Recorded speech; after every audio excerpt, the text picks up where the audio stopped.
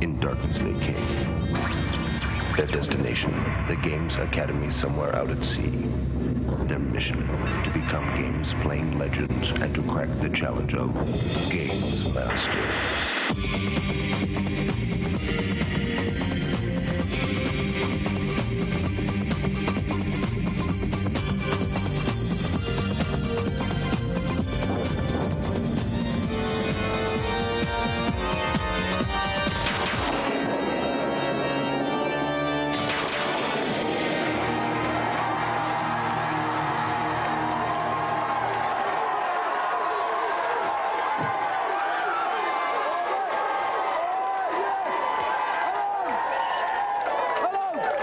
Another fast and furious and extremely noisy edition of the Games Master Team Championship. Once again, three more teams are going to do their best to try and guarantee themselves a place in the championship semi-final. Coming up in a couple of weeks' time, you've got to watch out for it. Right, do you want to meet the teams? Yeah!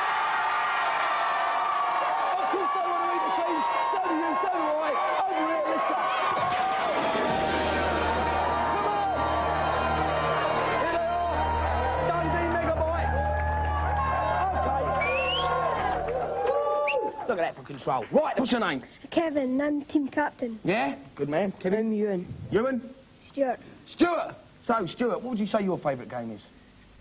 Street Fighter 2 Turbo. Ah, so this is your beat 'em up expert, is it? Yeah. He's your beat 'em up expert, yeah? How do you think you're going to do tonight, Jack? Well, um, they've done well to get here, but I think we can beat them. Yes, well, there's brave words. Right, give him a big round of applause. We'll meet the next team. This way. He wants to be on telly. Look, he wants to be on telly. This bloke, yeah. Nice one. Okay, then. All right, the Elite Three. Looking very cool. Here they are, the Elite Three. Tell us your names. My name's Matthew from Birmingham, team captain. Team captain Matthew, team captain from Ashton. Birmingham. Ashton. Liam. Liam.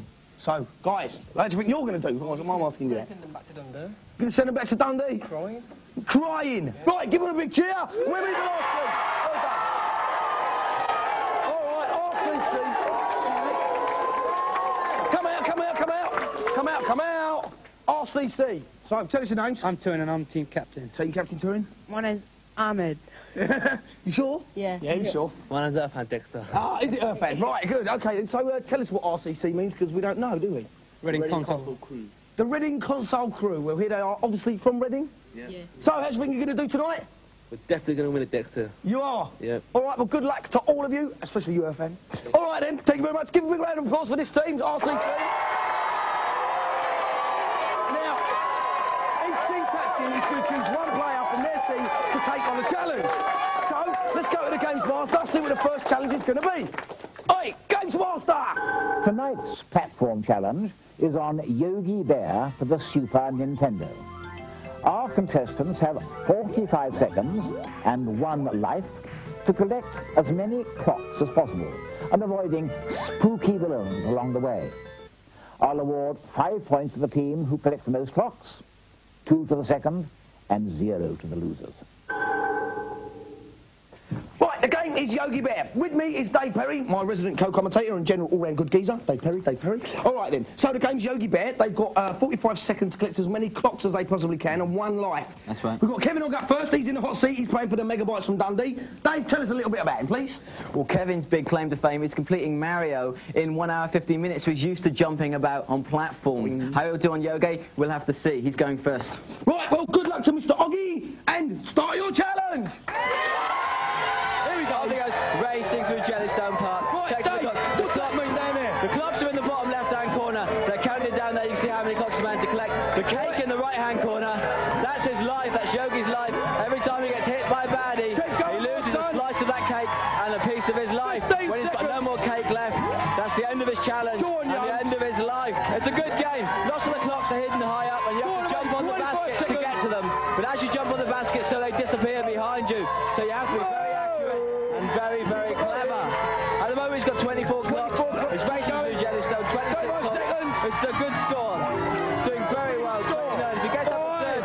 Yeah, I think he can be quite confident. There we go, 31 clocks. Get up on those picnic baskets for the highest clocks. There we are. Stop the 34 challenge! Kevin scored 34, not bad. Next up is Matthew of the Elite Three. Dave, how elite is Matthew going to be? Well, Matthew's a very confident games player, and but he's not been boasting about his prowess, so we've got no figures on him. I guess he's going to let his joypad do the talking. Well, let's hope so. Start your challenge! Okay, getting those first three clocks for Yellowstone. He knows what he has to do, but a, a lot of clocks hidden high up in the level, and that's it. And this is where you have to be very confident and very brave to leap across these baskets. They disappear He's behind you. like a lizard, They Dave, do. If you get nerves at all, you miss a basket, you're going to go Look at the down. ghost. You hit a ghost, you saw a piece of cake fly off there. Those cakes are his life bar. Life bar is the big cake. Keep right-hand jumping. His clocks that he has managed to actually score in this challenge is in the left-hand corner. 30 of the screen, seconds gone. And he's got 26 clocks already. He's doing very He's got well. to pick up some more clocks. He's going to have to get up to the higher Keep part going, areas of the screen to get some big, Get that big five clusters of clocks. Four, three, He's not going to do it. Doesn't- Oh, he only needs one one. more clock. Stop. Gets up there. 36 clocks. 36 clocks. That's pretty good for Matthew the Elite Three. Next up is Ahmed of RCC. Dave, Ahmed, is he any good?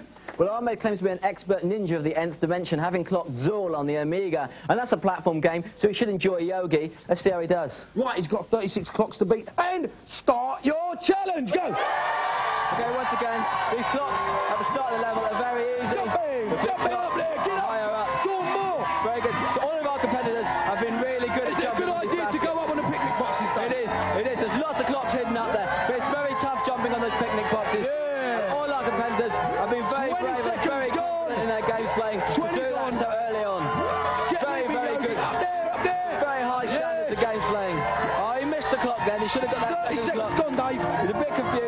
confused. He wasn't quite sure where he's going then. It's He's all valuable seconds lost. now. You've got to make your mind up where you're going ghost? And go there. 23 clocks. He's a long way behind. He's got a lot of clocks Four, to collect. three, nine seconds of this two, challenge. He's not one. going to make it. No, the not gonna make it. challenge. Six clocks. Right, Ahmed scored 26, not bad. We've got to go to the scoreboard and check what the current standings are. RCC didn't do very well on the first challenge, they got zilch. Right, second position is the Dundee Megabytes, did a bit better, they got two points, but out in front at the moment is the Elite Three with these Megamongers five points. Give them a cheer. Well, why the Elite Three pat each other on the back and we generally go mad in here? Why don't you check out the reviews? See you in a sec.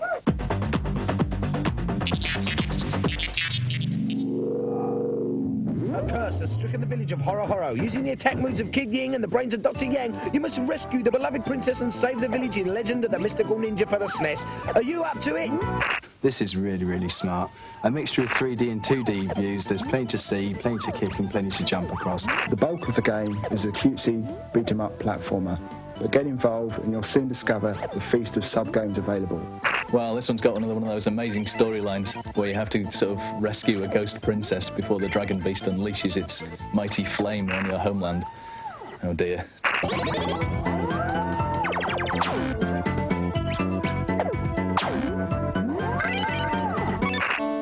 The first Alone in the Dark on the PC won eight awards for its amazing 3D graphics and gameplay. Now you can continue your film-like adventures in the imaginatively titled follow-up, Alone in the Dark 2. This is a really stunning game, and I cannot recommend it enough.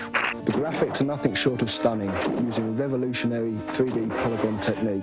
I played Alone in the Dark 1 a little, but I think Alone in the Dark 2 on my PC uh, I'll spend a lot longer with.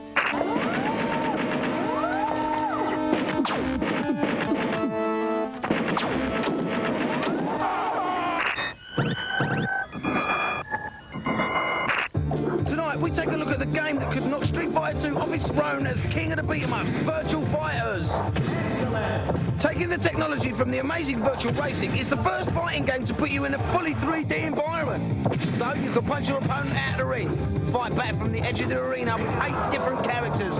It's a bone-crunchingly realistic gameplay. So can Ryo handle this kind of onslaught? Virtual fighting is hitting the arcades across the country right now. Check out these moves. Now, for a reminder of our Room of the Future competition. If you want to win any of these fabulous prizes, you still can. The entries with the code to enter the Room of the Future must reach us by Saturday the 29th. The winning names will be picked out of our mailbag and announced on next week's show. The address to send your answers to is Games Master, Room of the Future competition, PO Box 91, London, E14 9GT. Good luck! Now we want to get on with the second challenge, so that's exactly what we're going to do. Oi, Games Master! For my next challenge, I've selected the high-powered racing game Lotus Turbo 2 for the Sega Mega Drive. The winner of this challenge will be the contestant who collects the most points by driving his car the greatest distance along the slippery ice track. Especially skilled racers will receive a massive 100,000 point bonus for making it through the checkpoint marked by a large orange banner. As usual, five points will be awarded to the highest score, two to the runners-up, and nothing to the losers. Burn it up, boys. Nice one, Games Master. Right, the game is Lotus 2. The teams have got to get as far as they possibly can in 45 seconds. The further they get, the more points they score. And obviously, one with the most points wins the challenge. So, Earth ends up first of RCC. Dave, tell us a bit about Irfan. Well, Irfan's a real Mario Kart expert, so he should be used to controlling the car as it slides around the corner because we've got a particularly slippy track for him. All right then, Irfan, let's start your challenge. Off he goes. He's off, he's off. Racing off into the night. It's into snowing, snow. Dave. It is snowing, it's lovely. But it's very, very treacherous for the drivers. The score is in the top right-hand side of the screen. Top left-hand side of the screen. That's the speed 15 he's doing in kilometres per hour. He's shifting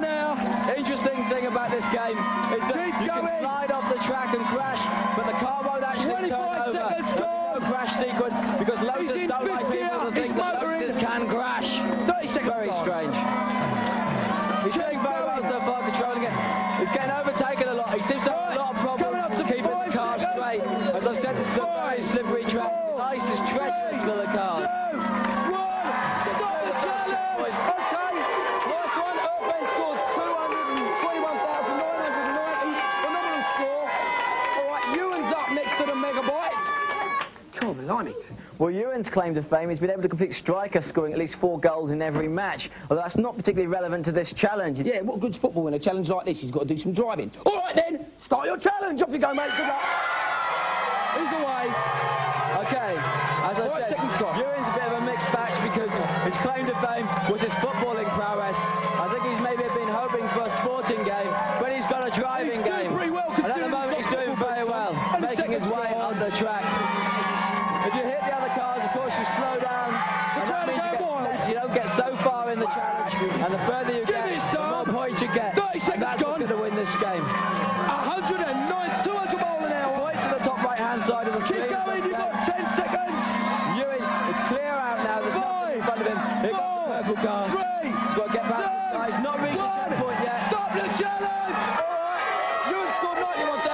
91,710. Pretty impressive score, but not quite good enough yet. Next up is Ashton. He's the last one to take part in this challenge. Dave, is he a good driver or what? Well, Ashton, we don't know a lot about him. He's a bit of a mystery man, but in the practice room, he's clocking up some very good scores. All right then. Well, let's hope he scores a good one this time. Start your challenge. Off you go. Good luck. Okay, pedal to the He's well underway. As Ashton screams off. Locks it in the foot gear. It's not always good to accelerate Ten too much too early on this. seconds. Go, go. As the wheels slip on the car, you lose control. 215 kilometres per hour on, now. boss. Top Yeah, left 20 hand corner of the seconds screen gone. shows you how fast he's going. Obviously, the faster he gets going, Put your foot further down. he'll get along the track, but the less control he'll have. Awful, freezing. I wouldn't want to be out driving in it, even if I had a Lotus. You need some. Uh... Right, you've got 35 seconds gone. He's got 10 seconds left. He's He's doing got pretty well. 88,000, 90,000. 45. He's catching. Looks like he's going to get three, second place. two, He's in second place now. He's doing Stop very, the very challenge. well. Right, pretty good stuff from Ashton there. He got 106,720. But we need to go over to the scoreboard, see what the current standings are. Well, the Megabytes didn't do so well on that second challenge. They got zero points. Added to their two from the first challenge, that means they got two overall. Then the Elite Three, well, they came second in the last challenge, but they came first in the first challenge, means they got seven overall. But RCC ran away with that last challenge. They got five points there, but none in the first one. That means they got five overall. So out in front at the moment is the Elite Three with seven points. Give them a cheer. Right, let's go and say bye-bye to the losing team. This way, this way, this way. Get out of here, get out of here. Where's, where's them megabytes? Here they are. So, here's the megabytes. What went wrong? Tell us the story. Well, I was good in the practice, but on the the just the better man won. Well, the better man won on the day. How generous of him. Very nice. Well, it still doesn't save you. I'm still going to get the caretaker to take you out and eject you from the premises. Get rid of them, caretaker, please. Right, so. Well, there they go. We've still got an almighty clash to come in the second part. These two teams are still battling out for their place in the semi-final. And if that's not enough for we've got a very special celebrity challenge. So don't go too far, only as far as the kitchen. We'll be back in a couple of minutes.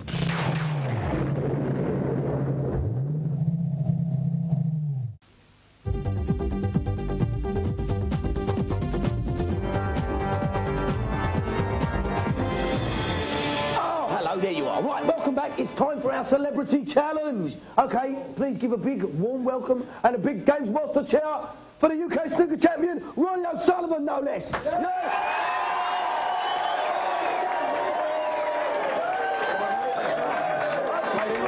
chat with Ronnie. So, as we can do on the, on the old uh, video game channel. Well, I don't really play computers, but I've had a quick bash on a computer before I come here, so I've got a rough idea. All right, then. So, do you want to pick out someone maybe to uh, take on a challenge against you? You'd like to do a challenge against This lady here? This yeah. Jump up, here we go. Good, we got it. Go, give her Let's find out her name. What's your name? Carla. Carla. Yeah. So, have you got a computer, Carla? Yeah. You have? What kind of computer you got? Uh, Mega Drive and Mega CD. Oh, pretty flash. So, you're going to give Ronnie a good challenge? Yeah. Let's go to the Games Master, find out what this celebrity challenge is going to be. What better than to have our snooker champion celebrity and his opponent compete on side pocket for the Super Nintendo. Each contestant has five shots to clock up the highest score, a hundred points being awarded for each ball potted. The player with the most points will take home my precious golden joystick. The razor wit of the Games Master there, letting us know that the game is side pocket. OK, Carla's up first. Dave, do you want to tell us a bit about this challenge? Well, Ronnie's nerves have already shown because the, the researchers caught him putting chalk all over his joypad. It was very, very messy. I don't think the golden joystick's going on his trophy shelf. This is going to be Carla's challenge. Well, let's wish him luck anyway. Carla's up first. Good luck to her. She's got five shots to get as many points as she can. Start your challenge! Let's start. Carla's getting ready for the break. She's gone full whack.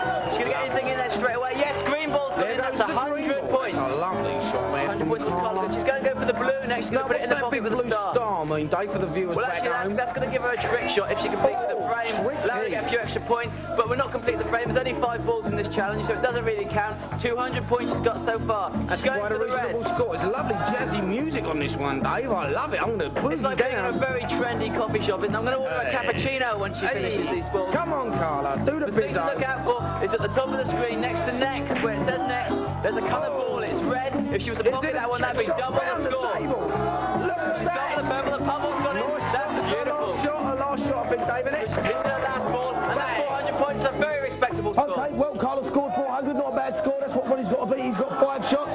Dave, has he got a chance? Yeah, I think 400 could be beaten. It's all going to be a matter of whether his nerve holds up now. Yes, well, I've got no worries about Ronnie. I'm sure he's going to come through. OK, then, mate, good luck. Start your challenge. Ronnie steps up to the table. He knows exactly what he's got to do. He's not gone Yes, filter on the shot. break. He's gone for a more subtle break. He's He's got played the on. greenie down He's got the green in. well. That's 100 points. Ignoring the blue star. He knows that's not relevant to the challenge. the yellow 200 down points well. two balls. Doing well. He's on a par with Carla. Oh, it goes the white. The white ball's gone in. It's going to be put back on the D. And he's going to have to start going for the No. blue ball because at What the top of the screen where it says next, the blue ball's highlighted. Oh, that ball's worth 200 points. And he's got to get that in now to draw with the boy. There's 200 points on the table with that blue ball. And he's not going to win tonight's challenge. Well, Ronnie scored 200. Not a bad score. Carla's the winner, though. Let's get both back on stage and give out the joystick. Bring them down. Absolutely. Come on. Well done, Carla. 400 points, Ronnie. Did you have fun there? Did you think you were going to win? Yeah. Yeah, you did. You knew you were going to win, did you? Yeah. So, Ronnie, what do you reckon to her performance? Quite good? Oh, she was, she was wonderful. She was? She played brilliant. She did? So, what do you think her chances are of becoming snooker champion? Well, she's as good as that on a snooker table. She's on a computer. She's got very good chance. Well, good luck to both of you. Nice one. Thanks very much. And it's time to give you, Carla, your fabulous Games Master Golden Joystick. You want one? Yeah, of course she does. Go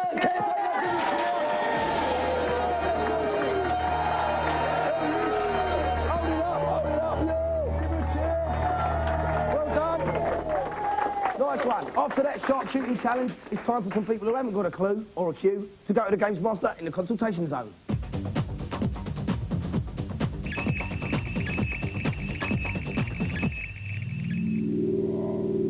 Welcome, one and all, to my games playing treasury. Games Master, when I'm playing the adventures of Super Dr. Franken on the SNES, I keep dying. I do have a little something to help you. While you're standing at the very start of the level, press down and left, and you'll fall, traveling through the wall below you and into a secret chamber. Walk left, and you'll hear a strange noise. This signifies that you've just picked up an extra life. Now, you might be able to make it just that little bit further. Thanks. I've been playing Desert Strike on the Master System, but I can't manage to get to the second mission. I don't know what to do. Try this. At the start of the second mission, fly to a point just east of the POW camp. There you will find Jake, who has the fastest winch action and the best accuracy of all the co-pilots in the game. Next, On the Cosmic Spacehead for the Mega Drive, I can't get past the electric door on the Formica City level. Can you help me, please? First of all, you must collect the Formica City telekey, which gives you access to the teleports. Teleport from Old Limo Town to Formica, and you will find that when you exit the teleport, you now have two cosmics. Place one on the button, deactivating the electrified door, then take the other cosmic through and stand him on the button the other side of the door. You can then take the first cosmic off the button without reactivating the electrified door and walk him through to safety. what could be simpler? Thanks a million, Games Master. That's enough of my nuggets for one night.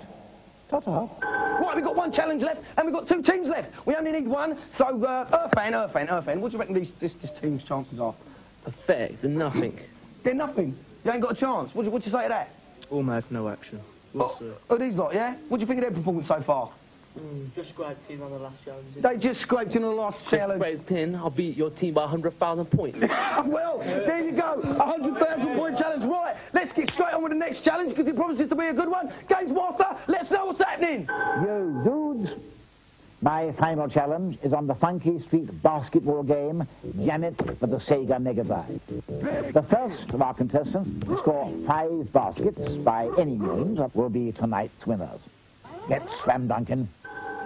So, the game is Jammit. We've got two teams left. We've got two in of uh, RCC. He's playing against Liam of the Elite Three. Dave, tell us a bit about these guys and their characters. Well, Liam's going to be playing as Slade in the blue kit. Chewin is going to be playing as Chill in the white and purple kit. And this is a vicious game, no holds barred basketball. They're going to have to do it out on the court. Right, the teams have got everything to play for. It's the first one to score five baskets. Good luck to both the teams.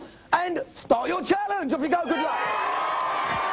There they go. All right, Chill passes the ball to Slade. Slade's in the blue kit.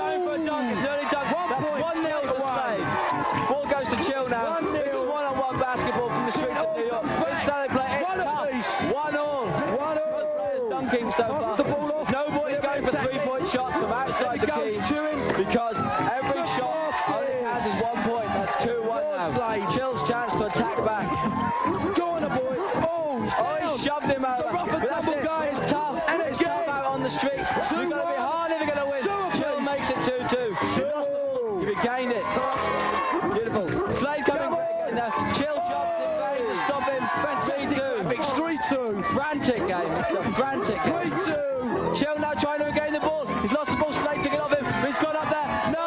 No, he didn't make it. Go on, He got up. He's still got the ball. Go on, Slade's looking for a way back in now. He doesn't want to lose the ball because there's a chance. Three, Presses one, advantage. slammed into the basket. 4-2. That's 4-2 Next to basket. Slade will win. Oh. No, 4-3. Shell gets a long win in, but all the points only count as one on this game. Slade's got to find a way into the basket and bury this one, and he's won tonight's challenge. Oh, some good So manoeuvres. Liam and Slade are going in. That's it. Go, go, the Elite Three have it. Let's go and have a chat with them. This way. Dave. Come on, come on. Come on, mate. Come on, mate. Come on, mate. Good one.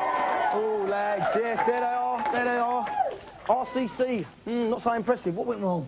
Well, he's better, better at the game than me, wasn't he? You better at the game than you. What do you think of that? Was it luck? We're through there, not. Hey, you're, they're through. You're not. End of story. All right, lads. Well done. You're through to the semi-finals. Good luck with that. Right. Well, next week we've got Macho Man and Randy Savage battling out on a challenge. Should be quite interesting. We've also got the final results of our Room of the Future competition. So, if you know anything about that, keep watching. Okay. We'll see you in a week's time for more battling action on Games Master. Say bye.